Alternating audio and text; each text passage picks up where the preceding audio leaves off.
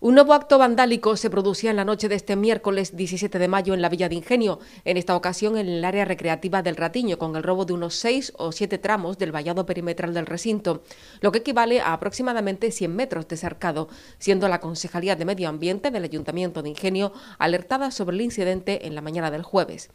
Este vallado cumplía una importante función de seguridad y delimitación en el área, asegurando la protección del entorno y el resguardo de las personas visitantes.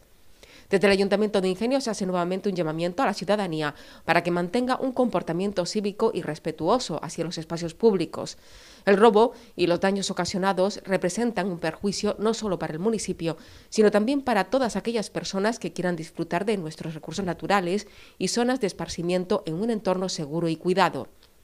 La Concejalía de Medio Ambiente ha iniciado las gestiones correspondientes para reparar los daños, a la vez que solicita la colaboración ciudadana para reportar cualquier información relevante que pueda ayudar a esclarecer el robo y dar con las personas responsables, esperando que no vuelvan a producirse más actos delictivos que pongan en peligro el patrimonio municipal.